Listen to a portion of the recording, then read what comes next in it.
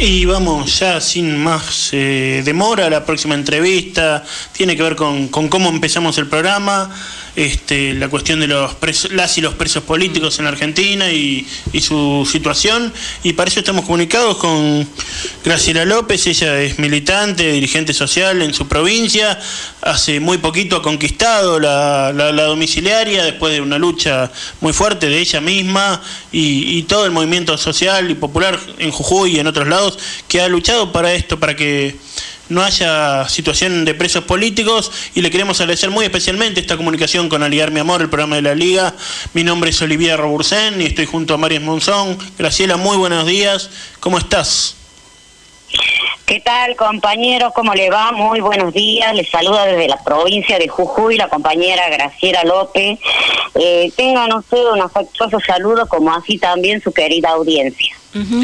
Qué, bien se escucha, Graciela. Un gusto realmente, eh, reitero, escucharla con, con ese buen ánimo. Ella está en libertad condicional, ¿no? Eh, ¿Cómo, cómo, ¿Cómo recibió esta noticia? ¿Cómo fue su primer día afuera? ¿Con quiénes se reencontró y cómo fueron esos reencuentros, Graciela?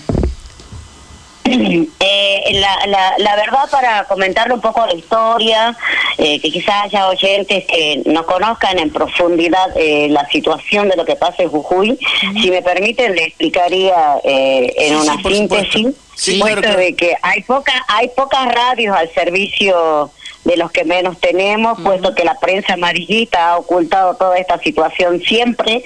Entonces, en agradecimiento eh, y en honor a, a los oyentes, me gustaría poderles explicar. Acá en la provincia de Jujuy, allá por el año 2015, todas las organizaciones sociales en conjunto a la Tupac Amaru, una organización madre eh, liderada por la compañera Milagro Sala, habíamos enmarcado una lucha, puesto de que había acá una transición de cambio de gobierno en la cual este, todos los derechos adquiridos de las organizaciones eh, sociales era una intencionalidad del gobierno actual, del Poder Ejecutivo que acababa de ganar las elecciones en, en nombre de Gerardo Morales, de que todo beneficio que, se, eh, que sea otorgado a los que menos tienen tenía que desaparecer. Así de crudo, así de simple.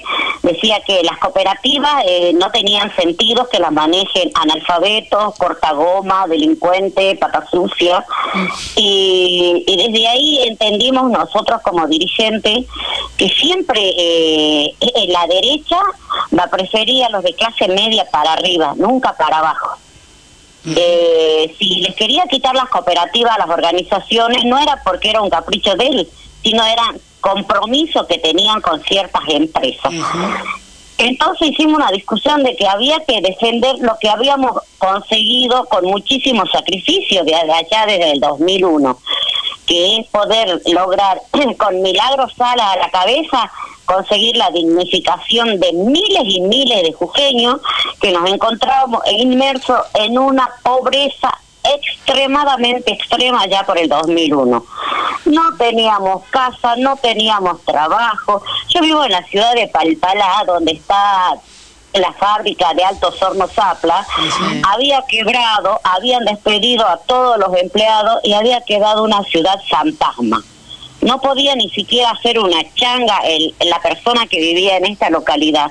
Entonces nos autoconvocamos manzana por manzana, barrio por barrio y empezamos a luchar allá por el 2001. Nada fue fácil.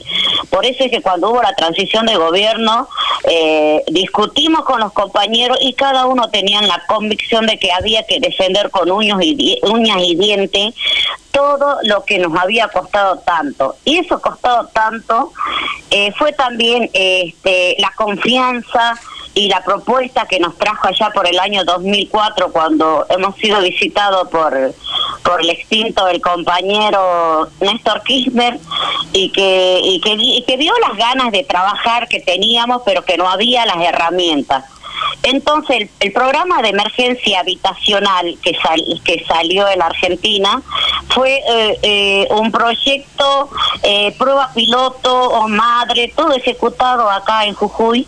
Y hoy día, como siempre dijo mi compañera Milagro, con obras que se ven y se tocan. 5.000 viviendas, barrios urbanizados, el sueño que tenía Evita, que abras la puerta de tu casa y tengas la escuela, que tengas el puesto de salud. Graciela.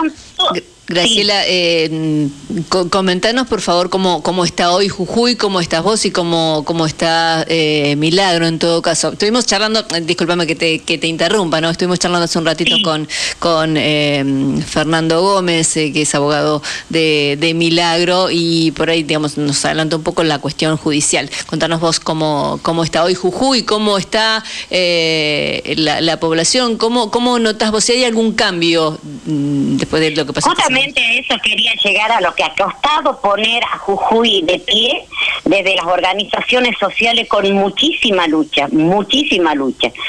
Hoy en día, cuando hubo la transición de gobierno, hubo un retroceso extremadamente total. Hoy en día yo que tengo la posibilidad de volver a estar en la calle, porque yo el 10 de junio me dieron la libertad condicional y que puedo ahora recorrer las calles, veo que la situación es mucho peor que allá por el 2001. Hay gente que, que come eh, entre dos o tres familias que juntan para hacer una olla. Hay gente que directamente ya ni come. Eh, en las calles ya no solamente ves a las organizaciones sociales eh, expresándose, luchando por sus reivindicaciones, hoy en día ves a los maestros, hoy en día ves a los médicos, hoy en día ves a los empleados de los, de los colectivos, eh, está una situación eh, extremadamente caótica pero también está implementado el miedo de, de, que genera, ¿no? De que este señor Gerardo Morales, como si esto fuese un imperio, a todo le pone una trabita en el camino. Eh, tiene una ley contravencional provincial que si te ha visto a la vuelta de la esquina donde no tenías que estar, te arma una causa. Eh, lo nuestro ha sido algo muy visible gracias a la cantidad de compañeros que se han expresado en solidaridad de levantar las banderas por nuestra liberación. Pero detrás de nosotros hay miles y miles de dirigentes, hay estudiantes que una vez hicieron una grafiteada y están yendo a juicio esta semana que viene. Este, es terrible. Hay hay otro tipo de dirigentes eh, llenos de causas, hay dirigentes este, gremiales perseguidos, hostigados. Eh, no, no, no, la situación está mucho eh, peor que, que antes. Y, y, bueno, yo creo que lo único que nos queda es, la herramienta que tuvimos, ¿no?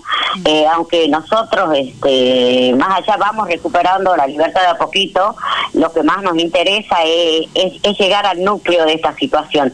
A ellos les interesaba sacar del eje, político a Milagro Sala, por ende a, su entorno, que, que, que, fuimos lo, que también este, padecimos la prisión.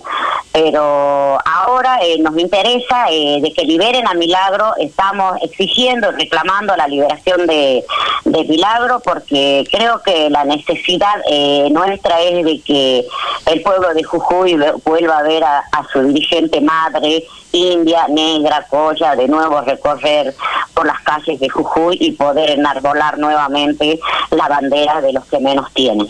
Eh, Graciela, le queremos agradecer muchísimo este testimonio y este fresco terrible que ha pintado sobre, sobre la realidad jujeña, pero que bueno, que muestra también, como usted misma nos decía, eh, hay cada vez más sectores populares que intentan, pese a la, situación que genera Morales, eh, oponerse y enfrentarlo y esto seguramente va a mover muchas cabezas y, muchas situaciones que pueden hablar de, de nuevas conquistas de libertad como fue la suya. Le agradecemos mucho, seguimos en contacto para futuras charlas, para seguir hablando del tema y exigiendo la libertad de Milagro y de todos y todos los presos políticos.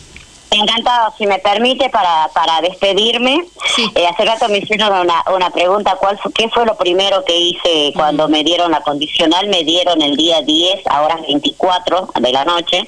Al otro día me levanté y por ética, por lealtad, por mis convicciones, lo primero que hice fue abrazar a Milagro eh, y en ese abrazo eh, que representa y que sienta el calor de cada uno de ustedes que también lucha por su liberación. Eso para mí eh, fue muy importante porque le pude decir, este es el pueblo que te abraza, este es el pueblo que pide tu libertad. No estás sola, hay que seguir. Y yo vi que espiritualmente se le llenó de vida saber que, en cada punto neurálgico, sea en la lucha, sea en los estatales, sea en los medios como ustedes, el cual estamos agradecidos, se sigue peleando por la libertad de Milagro Sala, porque acá no se aprisionó, no se encarceló a Milagro Sala como mujer, como colla, como luchadora.